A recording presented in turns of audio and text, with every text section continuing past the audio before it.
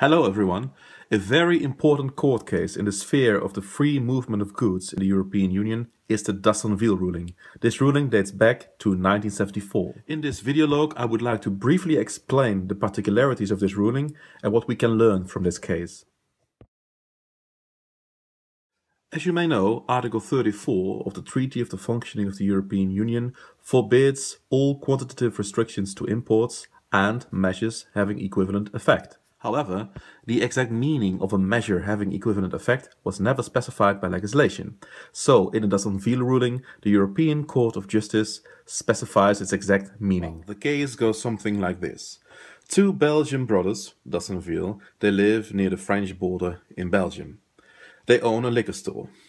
They would like to sell Scottish whiskey the most reasonable thing for them to do is to buy the Scottish whisky in a wholesale in France. However, there seems to be a slight problem.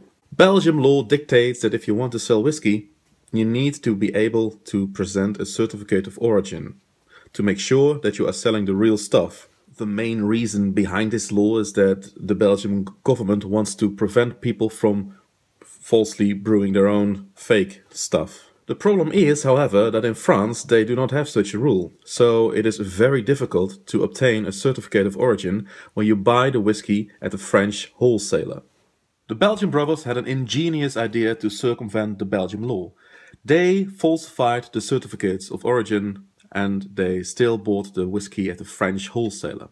However, as a result of their crime, they were fined by the Belgian authorities. The Dassonville brothers held that the Belgian law would constitute a barrier to trade. After all, it was very difficult now to import whiskey from France compared to importing whiskey from the original producer in Great Britain. Well, obviously the Belgian law does not establish a quantitative restriction. I mean, there are no quota or something like that.